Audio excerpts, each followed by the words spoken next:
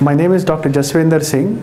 I'm a ENT consultant at Apollo Hospital, Jubilee Hills, Hyderabad, and uh, I'm into cochlear implant surgery from past uh, 13 to 14 years. Uh, cochlear implant surgery is done for children who are born deaf, and uh, children who are born deaf uh, they have difficulty in acquiring speech. So we have with us uh, a child from Iraq by name Asal Ahmed. She is one year seven months old the parents of her realized that she was not responding to sound and uh, they have got her investigated in Iraq. They found out that uh, they, she was not uh, hearing properly and the test result showed that she had profound hearing loss and uh, she was told that unless she is uh, implanted she will uh, cannot acquire speech and Iraq since Iraq doesn't have facilities they came to India and they found the information on the internet and they could reach Apollo Hospital and they contacted our team here.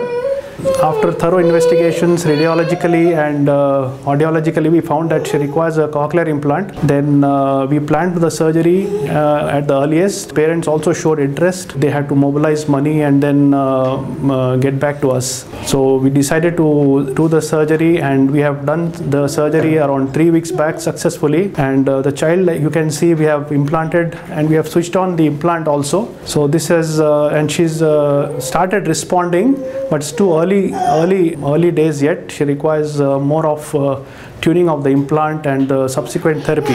After that, she'll acquire normal speech, uh, maybe when she's around uh, two, uh, two and a half, three years. أنا والد الطفلة عسل أحمد عبد الحميد آه، قد أجرينا ال- العملية في مستشفى أبولو وكانت الخدمات جيدة والعملية كانت برعاية الدكتور جاسوندر والمترجم والتقني سيليكا و- وأجرت العملية بنجاح والحمد لله.